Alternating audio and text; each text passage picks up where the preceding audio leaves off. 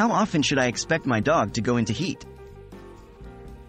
Hello dog owners. Today we're discussing an essential part of your female dog's life cycle, her heat cycle. Understanding your dog's heat cycle is crucial as it not only dictates her fertility but also influences her behavior and health.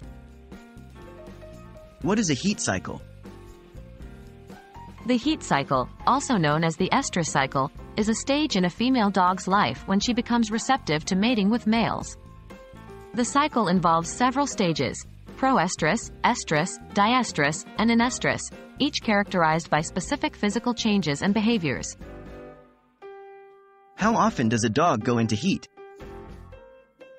On average, a female dog will go into heat about every six months. This can vary greatly between different breeds and individual dogs. Smaller breeds may go into heat three times a year, while larger breeds might only go into heat once a year. It's essential to note that the frequency of the heat cycle can also change as your dog ages. What are the signs of a dog in heat? The signs that your dog is in heat can include behavioral changes such as increased urination, restlessness, or aggressiveness. Physically, you might notice swelling of the vulva, bleeding, or spotting.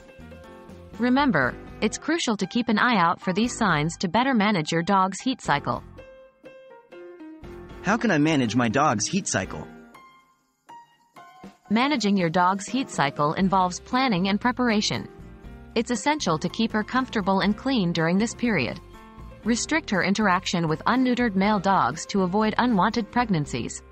Consider discussing with your vet about spaying if you do not plan on breeding your dog, as this can eliminate heat cycles altogether and prevent potential health problems. Understanding your dog's heat cycle is a key part of responsible pet ownership.